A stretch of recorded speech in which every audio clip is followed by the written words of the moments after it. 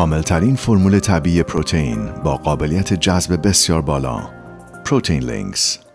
آقای دکتر روبان من از بچگی حالت ترس تو وجودم هستش. البته الان خودم پنجاه و خورده ای و سنم هستش حدود پنجاه و پنج سال. بله. بعد از تاریکی فوق العاده میترسم. یعنی تنها اگر تو خونه باشم آها. بخوام بخوابم باید حتما چراغ روشن باشه. اوکی. بله دارم بعد بعد تو هواپیما هم من هواپیما هم که می‌خوام سوارشم خیلی میترسم. اصلا س- کشتی سوار شدن و فکرشو که می‌کنم باز ترس دارم. اه، راجع به آینده هم خیلی فکر می‌کنم و همیشه از آینده یه وحشتی دارم. همیشه فکر می‌کنم که چی می‌خواد پیش بیاد چه بله. اتفاقایی می‌خواد بیفته. مثلا وضع بچه هم چی میشه؟ وضع آینده خودمون چی میشه؟ یه. سوال از خدمتتون بکن. اجازه می‌دید یه سوال از خدمتتون بکنم؟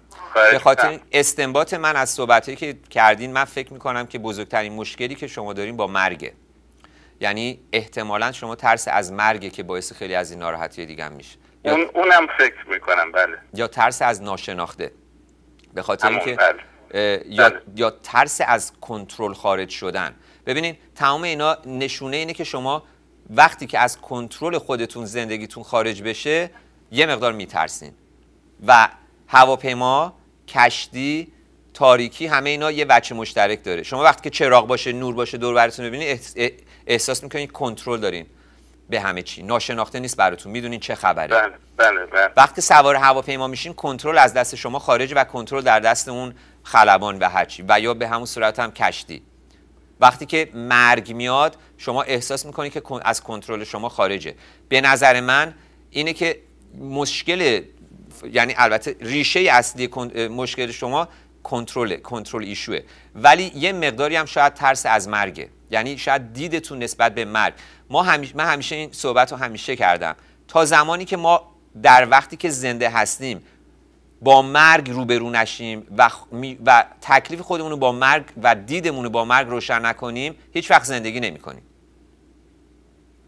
و به نظر من مشکل شما ریشش اونجاست. حالا شاید یه مقدار موارد کودک من اصلا نه روانشناسم نه ادعای روانشناسی می‌کنم نه بلدم نه هیچی.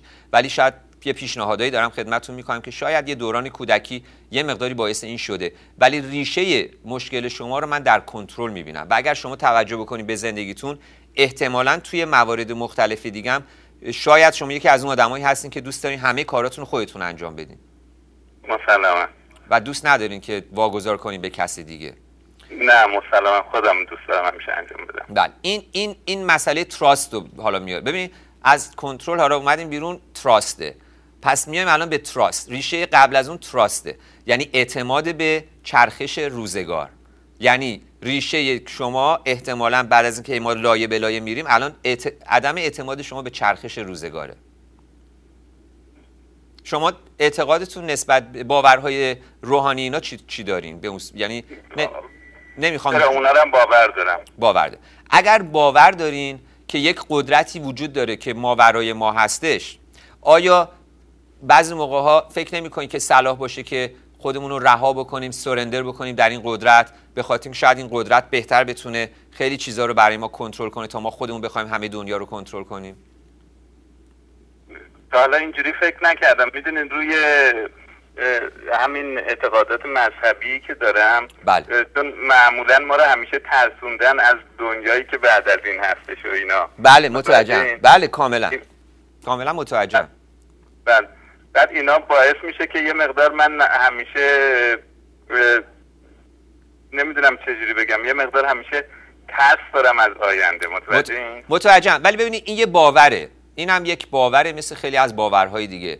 و وقتی که شما متوجه بشین که ما قدرت داریم و قدرت انتخاب داریم که اون باوری رو بگیریم که برای آرامش ما بهتر کار من ترجیح میدم من ترجیح میدم به خدایی اعتقاد داشته باشم که خدای عشقه نه خدای تنبیه. به خدای اعتقاد داشته باشم که خدای بخششه نه خدای انتقام.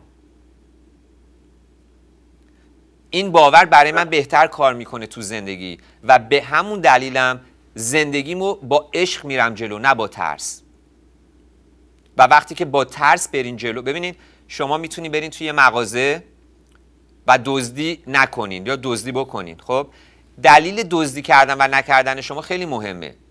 شما ممکنه دزدی نکنین به خاطر اینکه میترسین صاحب مغازه ببینه شما رو به پلیس زنگ بزنه پلیس بگیره شما رو بندازه زندان.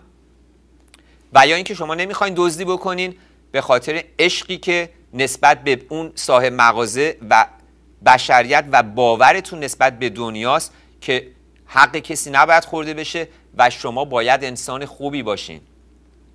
و متوجه میشین؟ یعنی.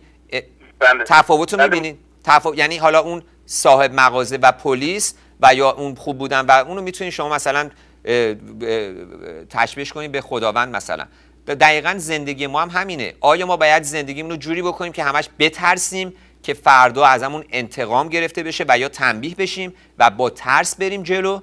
یا اینکه انسان درستی باشیم به خاطر اینکه انسان خوب بودن ما رو به راه درست میکشونه و به کمال میرسونه و عشق به هم نوع ما رو به کمال میرسونه. و وقتی که شما. عشق به هم نوع داشته باشین دیگه اون ترس وجود نداره.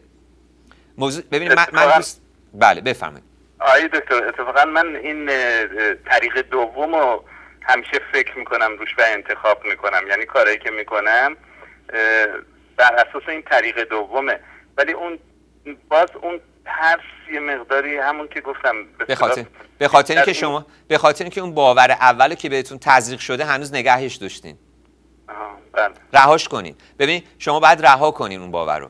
تا زمانی که اون باور سفت گرفتین شما میترسین اگر اون باور رو رها کنین بیفتین زمین. ولی من بهتون پیشنهاد می‌کنم اگر اون, اون, اون باور رو رها کنین پرواز می‌کنین. اون موقع است که شما پرهاتون شروع می‌کنه به پرواز کردن. تا زمانی که اونو گرفتین چون میترسین که رهاش کنین همونجوری اونجوری سفتون رو چسبیدین. ولی وقتی که رهاش می‌کنین اون موقع است که شما زمین نمی‌خورین تازه پرواز می‌کنین.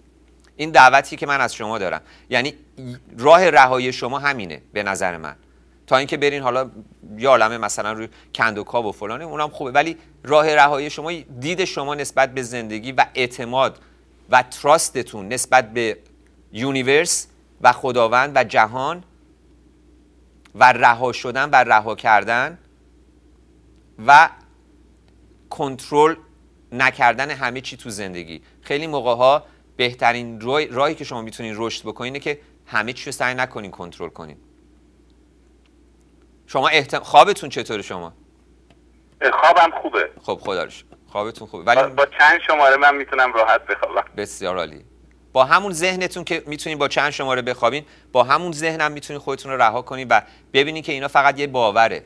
این اعتقادات که شما فقط یک باوره. دلیل بر درستی و غلطی نیست.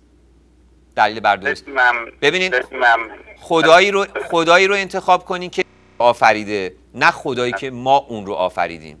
بله. ب- یعنی ما خیلی موقع خدا رو اون اه، چیز اه، چیزای اه، چی میگن؟ اون خصوصیات اخلاقی خودمون رو می‌ذاریم رو خداوند. بله. و از خداوند یه چ- یعنی خداوند زاده ذهن ما میشه. ولی اون خدا رو شما اعتقاد داشته باشین که ما زایده اون هستیم زایده ذهن اون هستیم به شکل خودش.